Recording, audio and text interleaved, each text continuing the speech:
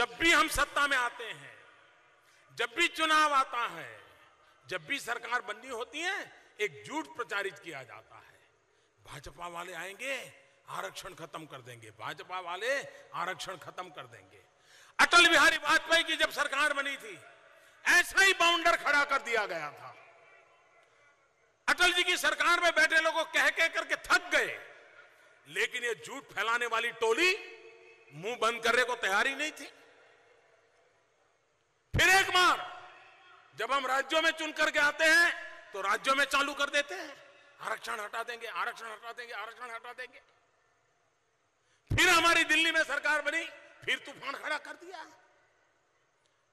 बाबा साहब आंबेडकर ने हमें जो दिया है, उसी ने देश को एक ताकत दी है, और उस ताकत को कोई रोक नहीं सकता है। मेरे भाइयों बहनों, कोई रोक नहीं सकता। मैंने मैंने गरीबी देखी है। मैं उस दर्द को जी चुका हूँ।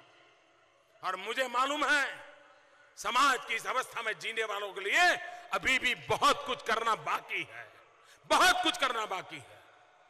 और यह देश, दलित, पीड़ित, शोषित, वंचित, गरीब, इनको छोड़ करके आगे नहीं निकल सकता